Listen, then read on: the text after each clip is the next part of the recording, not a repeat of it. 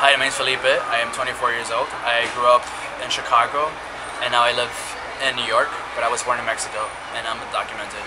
Um, if you're watching this video, it's because I have been arrested and I'm part of a civil disobedience in Georgia.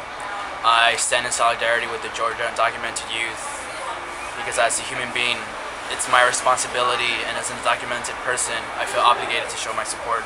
I was able to pursue my career, uh, go to school uh, without my status getting in the way. And I feel like anybody, whether you're a citizen, whether you're here as an undocumented person, you should be allowed to have the access to higher education. Um, I'm also here to let Georgia know that these laws, which are anti-immigrant and attacking undocumented youth, are not only inhumane, but they're also un-American. Uh, and also that we're not we're not gonna let this happen.